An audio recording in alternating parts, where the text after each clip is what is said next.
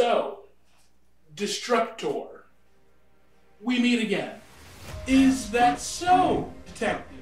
Your reign of terror is over. We stopped your bombs. We confiscated all of your gang's weapons. You are done. You know what they say about counting your chickens, Detective. Don't do it. The only thing I can't seem to figure out is why? Why, Destructor? Why did you hurt all those people?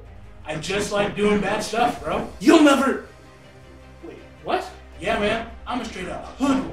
That can't be the case. What's your actual reason? You know, backstory.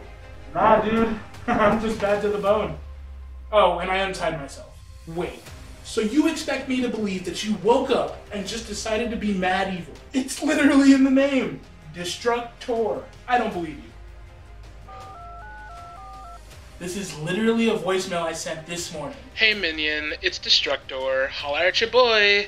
Um, so I'm thinking today for our like evil thing, we should just like go, you know, tip some baby carriages over and maybe burn down an orphanage. You know, just just for the funs of it. You know, just for the for the funsies. You know, I, you know, like it would be real nice. You know.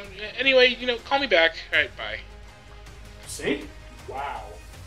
Did you at least have like a bad childhood or something? No. How many times do I need to tell you? I'm just a bad dude. Straight up villainous. Like a hundred percent bad. Like the bone, I'm bad to it. Like I, I don't even know if you can comprehend how bad and villainous the acts that I do to the community are they're not beneficial, I can tell you that much. Regardless of your motive, we caught you, and you're going away for a long, long time. Is that so?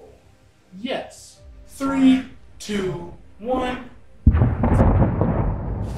What was that? They're here.